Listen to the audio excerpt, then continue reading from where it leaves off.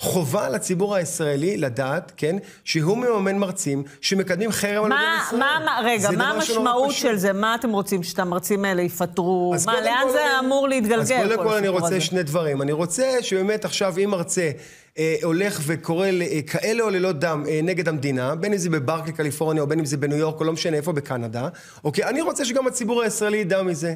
זה מה שאני לא מבין מה הבעיה, הרי האנשים עשו את זה בצורה ציבורית, בחוץ. אז עכשיו בוכים על זה אותם. אני אגיד לך מה הבעיה, אני אגיד לך מה הבעיה.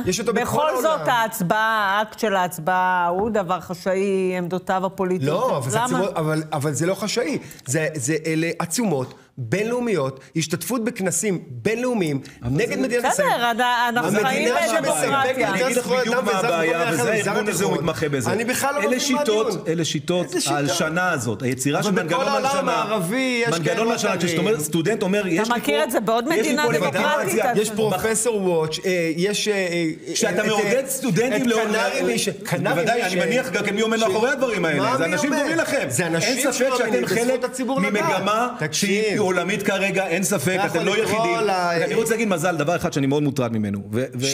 אתה אומר שהציבור אסור לו לדעת, זה מה שאתה אומר. אני חושב שהכל גלוי ואתה אומר את זה בעצמך. זה קומיסריות, זאת אתה יודע את זה בעצמך, שזה גלוי. והשתקה שלך. אבל אני רוצה, מזל, אני יכול רגע לדבר. אני אגיד מה החשש שלי. כי עם כל הכבוד, אם תרצו, אני לא מתרגש מהם יותר מדי. ממה אני כן מתרגש?